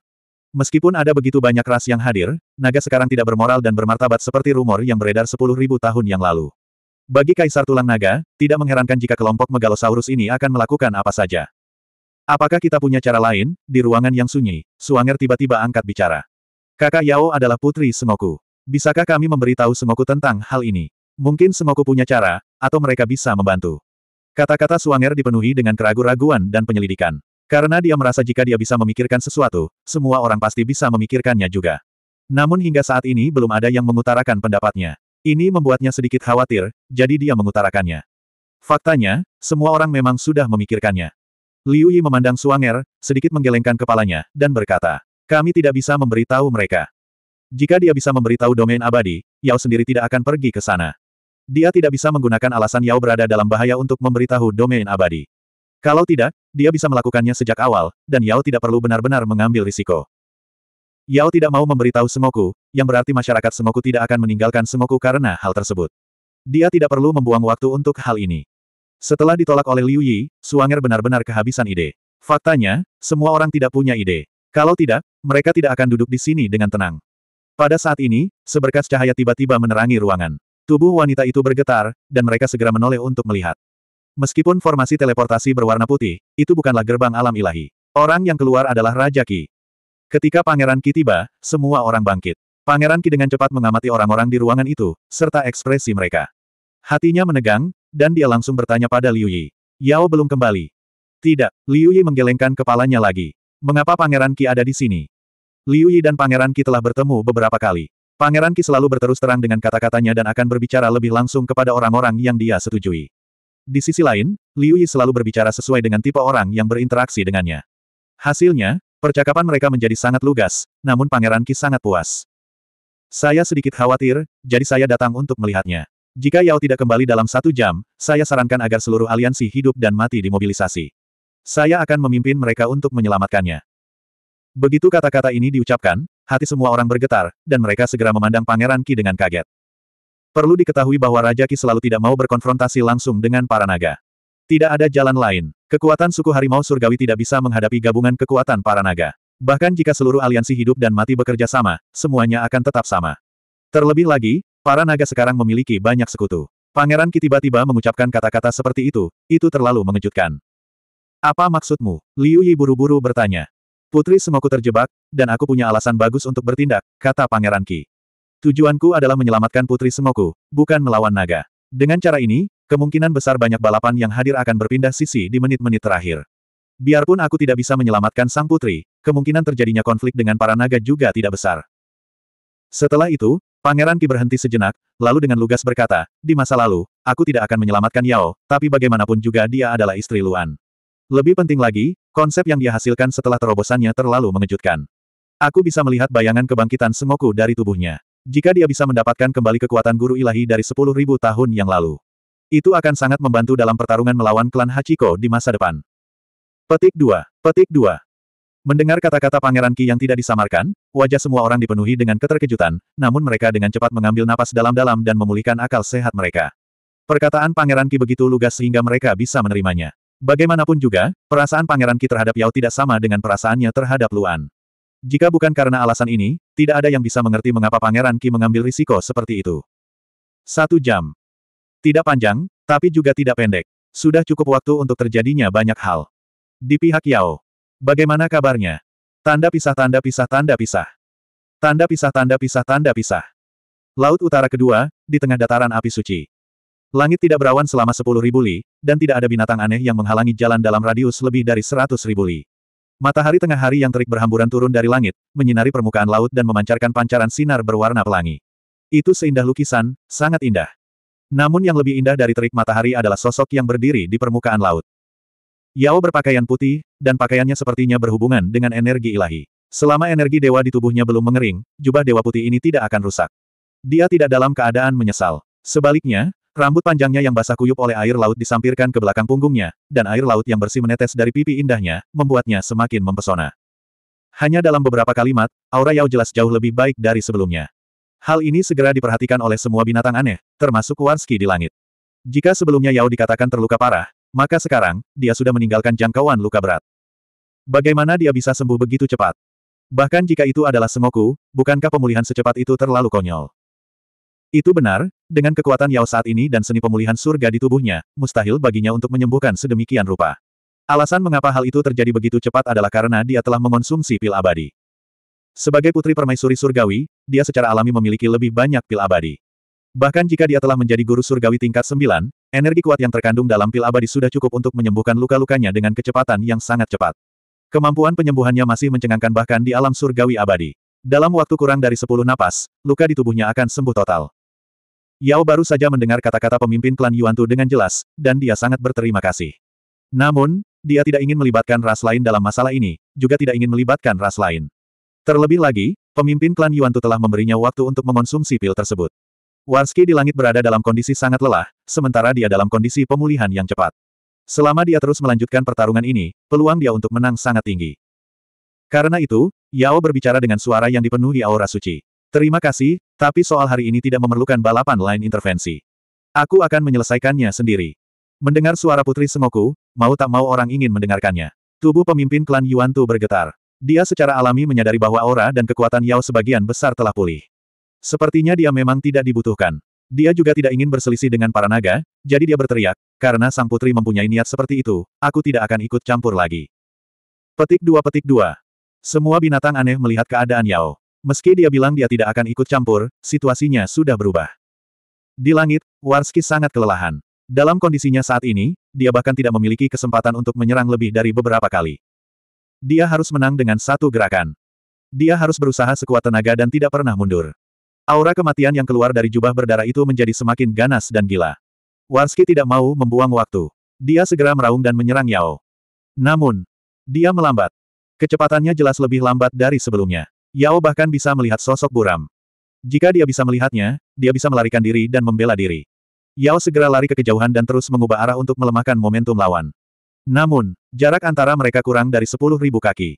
Bagi seorang guru surgawi tingkat 9, 10.000 kaki terlalu cepat. Suara mendesing. Kecepatan Warski menembus ruang angkasa. Dia langsung bergegas ke permukaan laut dan menyerbu ke arah Yao, mengarahkan pukulan ke punggungnya dengan seluruh kekuatannya. Sementara itu, Yao telah menyiapkan pertahanan terkuat di sekelilingnya, membentuk pertahanan terkuat yang bisa dia capai. Dia siap menerima pukulan ini secara langsung. Namun, semua binatang aneh yang hadir dapat melihat dengan jelas bahwa pertahanan di sekitar putri negara berperang tidak dapat menahan pukulan ini sama sekali. Dia akan terluka parah lagi. Namun, saat ini, sesuatu yang tidak terduga terjadi. Tiba-tiba, seluruh megalosaurus di langit bergetar. Semua binatang aneh itu terkejut. Mereka melebarkan mata dan memandang ke laut, memandangi dasar laut yang bukan milik mereka berdua. Bahkan Warski pun sama. Tubuhnya bergetar hebat, dan dia dengan cepat melihat ke bawah ke dasar laut. Lalu, Warski sepertinya melihat kegelapan tak berujung melayang dari laut. Bahaya fatal segera melanda tubuh Warski, menyebabkan dia gemetar hebat. Warski segera mengubah arahnya dan mengubah serangannya dari Yao menjadi kegelapan bawah laut. Di saat yang sama, kegelapan tak berujung telah naik ke permukaan laut, menyebabkan laut indah yang semula bersinar di bawah terik matahari menjadi hitam pekat. Kemudian, gemuruh. Cahaya merah muncul. Di bawah tatapan semua binatang aneh level 9 yang hadir, ledakan mengejutkan terjadi di atas laut. 2828. Kekuatan mengerikan itu menghempaskan lautan sekitar 20.000 kaki. Itu membentuk gelombang besar yang tingginya lebih dari 10.000 kaki, menyebar keluar dengan kecepatan ekstrim. Yao, yang berdiri di samping ledakan dahsyat, tidak terkena pukulan ini secara langsung. Dia hanya menderita dampak ledakan dari jarak dekat. Meskipun dampak ini menghancurkan sebagian besar pertahanannya, namun tidak sepenuhnya menghancurkannya. Dia terlempar ke belakang sejauh 10.000 kaki, tetapi tidak mengalami banyak kerusakan. Sebaliknya, ramuan abadi menyembuhkan lukanya lebih cepat. Di bawah tabrakan hebat, tubuh Warski juga terlempar, terbang langsung ke langit. Tapi tidak peduli apakah itu binatang mistis di langit atau Yao, tidak satupun dari mereka melihat ke arah Warski. Sebaliknya, semua makhluk mistis dan Yao segera melihat ke satu tempat. Di bawah permukaan laut asli. Di bawah kekuatan ledakan, lubang sedalam sepuluh ribu kaki diledakkan dari laut. Pada saat ini, sesosok tubuh sedang berdiri di tengah lubang yang dalam. Karena tabrakan tadi, sosok ini juga terlempar sejauh lima puluh ribu kaki sebelum berhenti. Semua binatang mistis melihat sosok ini dengan sangat terkejut. Yao juga sama, melihat sosok ini dengan sangat terkejut. Namun di tengah keterkejutannya, tiba-tiba ada juga ekstasi. Suami. Ledakan. Yao segera bergerak, dan dengan kecepatan tercepat, bergegas menuju shooting Yu Arrow ini. Mendengar suara yang begitu menyenangkan, sosok ini menoleh ke arah Yao. Benar, itu Luan. Sepasang mata yang seperti jurang ini, keadaan yang sangat sunyi, siapa lagi selain Luan? Suara mendesing. Sosok Yao tiba di depan Luan dalam sekejap mata, dan langsung bergegas ke pelukan Luan. Bang! Yao memeluk Luan erat-erat, wajah cantiknya terkubur dalam pelukan Luan. Dia jelas sangat kuat, tapi air matanya mengalir seperti bendungan yang rusak. Setelah dua bulan sembilan hari, akhirnya, dia melihat orang yang paling dia cintai. Bahkan ketika dia sedang berlatih, dia berusaha sekuat tenaga untuk menahan diri dari berimajinasi, namun dia selalu membiarkan imajinasinya menjadi liar, memikirkan bahaya yang mungkin dihadapi suaminya. Dan setiap kali dia memikirkannya, hatinya akan terasa sakit seperti terkoyak, begitu menyakitkan hingga dia tidak bisa bernapas. Melihat Yao yang menangis, Luan mengangkat tangannya dan memeluknya erat-erat. Di langit, semua megalosaurus dan binatang eksotik terkejut melihat pemandangan ini. Mereka memandangi dua orang yang sedang berpelukan erat di kawah laut dalam. Luan. Luan telah muncul. Semua binatang mistik sedang menatap Luan, tapi yang mengejutkan mereka, Luan benar-benar berhasil menerobos. Benar sekali, Menilai dari serangan barusan, tidak ada keraguan bahwa Luan telah menerobos. Kalau tidak, tidak mungkin dia bisa memukul mundur Warski dengan satu pukulan. Meskipun semua binatang eksotik mengira Luan mungkin sedang berkultivasi di dataran api suci, yang lebih penting adalah semua binatang eksotik mengetahui waktu kapan Luan akan menerobos ke puncak LV8. Hanya empat bulan sejak Luan berhasil menembus puncak peringkat ke-8, namun ia membutuhkan waktu sembilan bulan untuk menerobos dari tahap akhir peringkat ke-8 ke puncak peringkat ke-8. Bagaimana langkah ini bisa lebih cepat dari sebelumnya? Dan jauh lebih cepat. Terobosan Luan tidak diragukan lagi merupakan berita besar bagi semua binatang eksotis di langit, tetapi juga merupakan tekanan yang sangat besar. Bagaimanapun, Luan adalah anggota klan Hachiko. Guru Surgawi LV8 dari klan Hachiko dan Guru Surgawi LV9 dari klan Hachiko adalah dua konsep yang sangat berbeda. Apa yang harus mereka lakukan?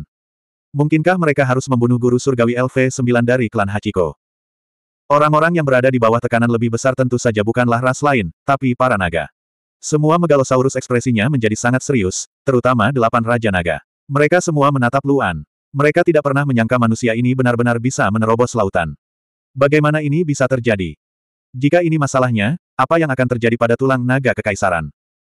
Di langit, Warski menatap kedua orang yang berpelukan erat, dan perhatiannya juga terfokus pada Luan. Dia juga tidak menyangka Luan bisa menerobos secepat itu. Bagaimanapun, dialah yang membujuk delapan Raja Naga. Begitu Luan menjadi guru surgawi LV9, dia akan menyinggung klan Hachiko jika dia menyerang.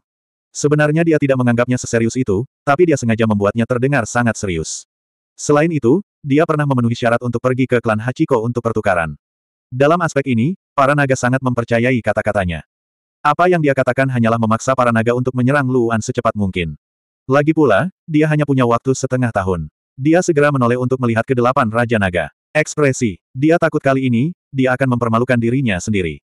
Kekuatan ledakannya begitu besar bahkan kembalinya air laut pun sangat lambat. Yao memeluk Luan erat-erat, seolah dia khawatir semuanya hanyalah ilusi.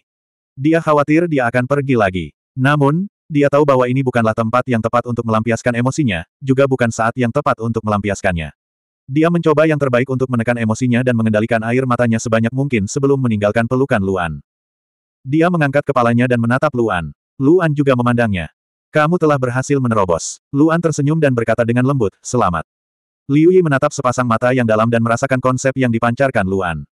Jika Luan awalnya hanya memiliki sepasang mata yang membuat orang merasa jatuh, maka seluruh tubuhnya memberikan perasaan ini kepada orang lain. Bahkan lebih intens dari sebelumnya. Belum lagi sepasang mata gelap yang seperti jurang maut. Melihatnya dari jarak sedekat itu, seolah-olah seluruh tubuh seseorang terjatuh ke dalamnya. Aura ilahi Yao Yao bahkan tidak dapat menolak konsep ini. Itu menelannya dan membuatnya tidak bisa pergi. Luan secara alami merasakan aura ilahi Yao Yao, tapi itu tidak banyak mempengaruhi dirinya. Ini memang bukan waktunya membicarakan cinta. Dia mengangkat kepalanya dan melihat binatang mistis yang memenuhi langit. Naga dan banyak ras lainnya. Luan melihat sekeliling. Di mana pun tatapannya mendarat, semua makhluk mistis merasakan hati mereka bergetar. Beberapa bahkan panik. Tatapan Luan berhenti pada delapan Raja Naga dan menatap mereka. Delapan Raja Naga juga sedang melihat ke arah Luan. Saat tatapan mereka bertemu, Luan tidak berekspresi, tapi delapan Raja Naga sedang menatap. Tubuh gemetar.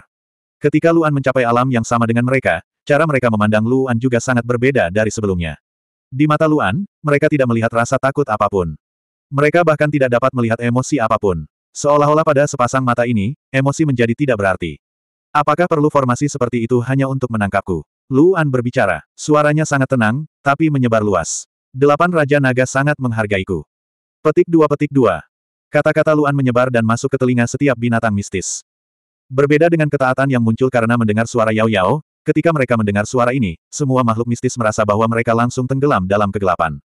Seolah-olah mereka terisolasi dalam jurang tak berujung. Rasa kesepian, panik, dan ketidakberdayaan yang kuat muncul. Akhirnya, ia berkumpul dalam keputusasaan dan muncul di lautan kesadaran setiap binatang mistis. Ketika delapan Raja Naga mendengar ini, tubuh mereka juga gemetar. Mereka bisa merasakan bahwa kekuatan Luan baru saja menembus. Tidak perlu takut padanya. Dia bahkan tidak bisa mengalahkan binatang mistis mana pun yang hadir dalam pertarungan satu lawan satu. Namun, pola pikir Luan melampaui semua orang yang hadir. Bahkan mungkin jauh lebih dari itu. Anak ini tidak bisa dibiarkan hidup. Kedelapan Raja Naga saling memandang. Niat membunuh yang sangat kuat muncul di mata mereka. Jika mereka melepaskan Luan hari ini, dengan kecepatan pertumbuhan anak ini, mereka mungkin tidak dapat menangkapnya saat mereka bertemu lagi nanti. Jika mereka melewatkan kesempatan ini, kemungkinan besar itu berarti tulang naga raja dan naga tidak akan memiliki nasib sama sekali. Atau, mereka dapat mengubah perkataan putri semoku mana pun dan mengembalikan tulang naga raja kepada naga setelah kematian Luan. Namun, dengan cara ini, mereka tidak memiliki peluang sama sekali untuk menjadi Raja Naga. Di tengah penentuan pilihan, niat membunuh di mata kedelapan Raja Naga sudah cukup untuk menjelaskan pilihan masing-masing. Mereka semua ingin menjadi Raja Megalosaurus. Mereka tidak mau melewatkan kesempatan di depan mereka. Membunuh. Mereka harus membunuh Luan. Adapun Putri Semoku, mereka juga tidak bisa melepaskannya. Kalau tidak, jika tersiar kabar bahwa mereka telah membunuh Luan, yang telah menjadi guru surgawi tingkat sembilan, mereka mungkin akan menarik balas dendam klan Hachiko. Namun, saat delapan Raja Naga mengambil keputusan, Luan sudah menoleh.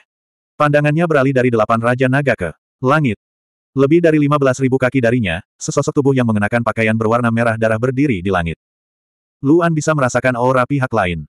Tentu saja, dia tahu siapa pihak lainnya. Lihat dirimu sekarang. Suara Luan sangat dingin dan penuh sarkasme. Inikah kekuatan yang kamu kejar? 2829. Di lautan dan langit yang ganas, konfrontasi terus berlanjut. Yao menerobos setengah hari lebih awal dari Luan, jadi Luan datang sangat terlambat.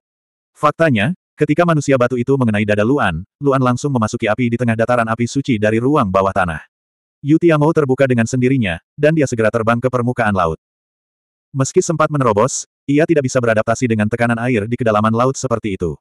Dia tidak bisa membuat lingkaran teleportasi di laut, jadi dia hanya bisa terbang ke atas. Namun ketika dia terbang hingga 30 ribu kaki di bawah permukaan laut, dia langsung merasakan kekuatan yang sangat besar di atas.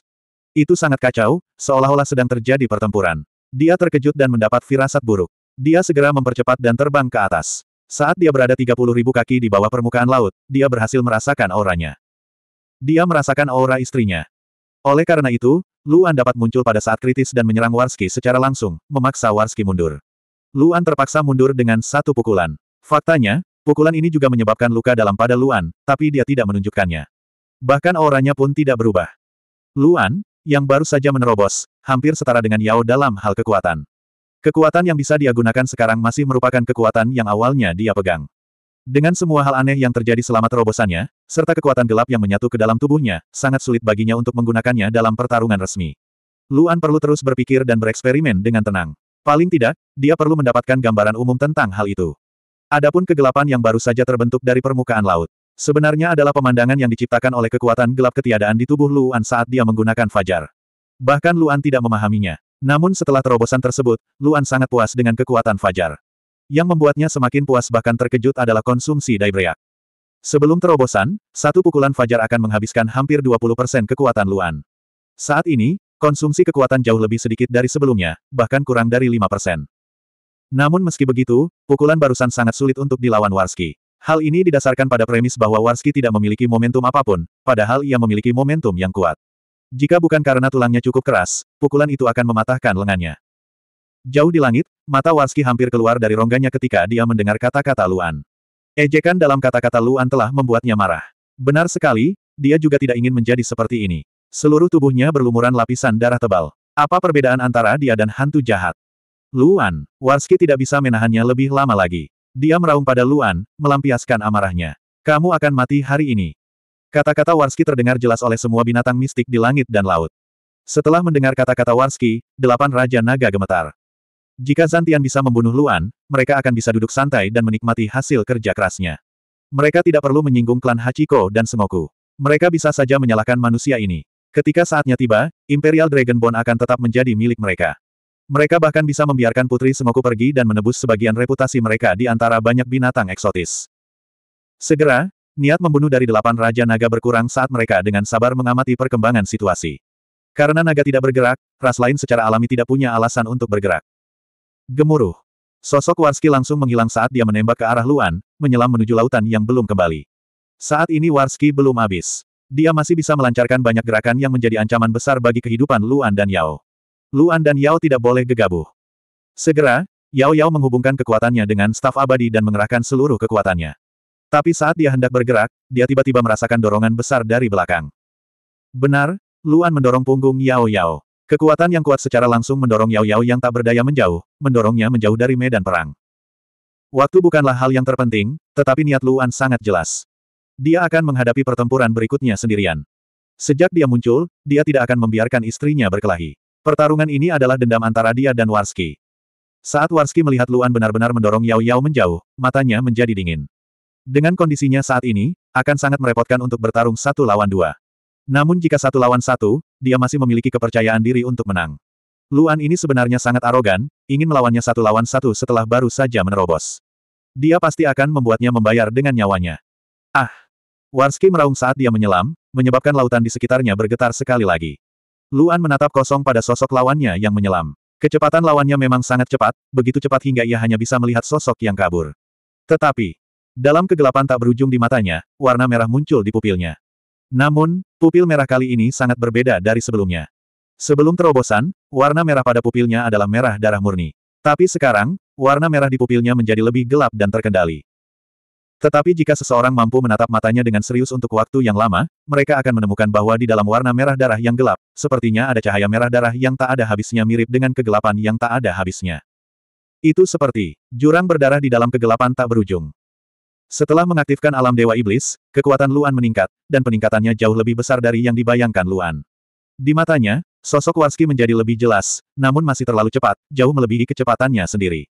Tapi selama dia bisa melihat sosok lawannya, itu sudah cukup bagi Luan. Dia sama sekali tidak takut dengan niat membunuh yang mengerikan dan wajah garang lawannya. Seolah-olah dia bahkan tidak merasakan banyak kegembiraan setelah menerobos. Niat membunuh lawannya tampak menjadi gila di matanya. Dua ribu kaki. Warski masih tidak mengubah arah, karena dalam keadaan Blood Cloak, jurus terkuatnya adalah pertarungan jarak dekat. Namun bagi Luan, dia telah melihat banyak musuh dengan jubah darah, jadi dia tidak menganggapnya aneh. Warski tidak mengubah arah, tapi Luan yang melakukannya. Begitu dia mencapai ketinggian 2000 kaki, sosoknya tiba-tiba mundur secara eksplosif. Dia mundur pada level yang sama dengan Yao, ke arah yang berlawanan. Warski segera bergegas maju. Pada jarak ini, mustahil untuk lolos dari kejarannya. Ledakan. Warski segera mengubah sudut penyelamannya dan menyerbu ke arah Luan dengan kecepatan penuh. Dengan momentum yang hebat, dia langsung menutup jarak hingga kurang dari seribu kaki. Pada saat ini, Luan tiba-tiba berhenti mundur. Mata Warski menjadi dingin. Anak ini penuh tipu muslihat. Tidak mungkin dia melawannya seperti ini. Dengan hati-hati, dia terus menyelam hingga seribu kaki terakhir. Suara mendesing. Hanya tersisa enam ribu kaki. Kedua belah pihak dan tanda pagar 39, aura bertabrakan dengan keras. Pada saat ini, Tubuh Luan tiba-tiba bergerak ke kiri. Tubuh Warski bergetar melihat ini. Dia tahu bahwa anak ini akan mempermainkannya. Saat Luan bergerak, dia segera mengubah arah dan bergegas ke kiri Luan. Namun, mata Warski melebar, dan dia menatap Luan dengan tidak percaya. Dia melihat bahwa Luan, gerakannya hanya sedikit goyang ke kiri, tak sampai sepertiga panjang tubuhnya. Itu adalah gerakan yang paling sederhana. Sebuah tipuan. Sudah berakhir, saya sudah tertipu. Dengan jarak antara mereka, Warski memperkirakan gerakan horizontal Luan setidaknya berjarak dua tubuh. Terlebih lagi, pada jarak sedekat itu, dia tidak bisa mengubah arah lagi setelah mengubah arah. Dengan kata lain, dia tertipu oleh tipuan sederhana Luan, dan serangan habis-habisan miliknya meleset.